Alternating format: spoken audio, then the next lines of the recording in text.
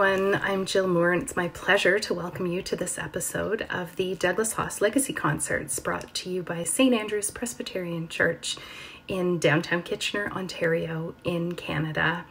We're very lucky today to have a harpist as our guest. Lauded as a huge talent with hidden power and amazing maturity, Taiwanese American harpist Dr. Noël Wan made her international debut with the Utrecht Symphony Orchestra in 2010. She has performed across North America, Europe, and Asia, and has been featured as a soloist at Carnegie Hall, Muziekgebouw, and the Yellow Barn Summer Music Festival. Her international distinctions are many and include first prize in the 2010 Dutch Harp Festival competition, grand prize in the 2014 Carmel Music Society competition, and second prize in the 2021 Prix Orford Musique. Dr. Wan is an alumni of the University of Illinois and the Yale School of Music. As an educator and scholar, she has contributed to Harp Column, The Collective, the American Harp Journal, where she has written on philosophy, music education, and feminism. She currently lives in Kitchener, Ontario, and serves as assistant professor of harp in Western University's Don Wright Faculty of Music. Today's program includes three beautiful and moving pieces. The first two works published in the 1980s by living composers, which is somewhat rare these days. From The Eastern Gate is the first piece by Alexina Louie. Our second piece is The Black Decameron with movement uh, Flight of the Lovers Through the Valley of Echoes by Leo Brouwer, transposition by Noël Wan. And finally, we'll have the introduction and variations on themes from Bellini's Norma by Elias Parish Alvars. Please enjoy today's performance.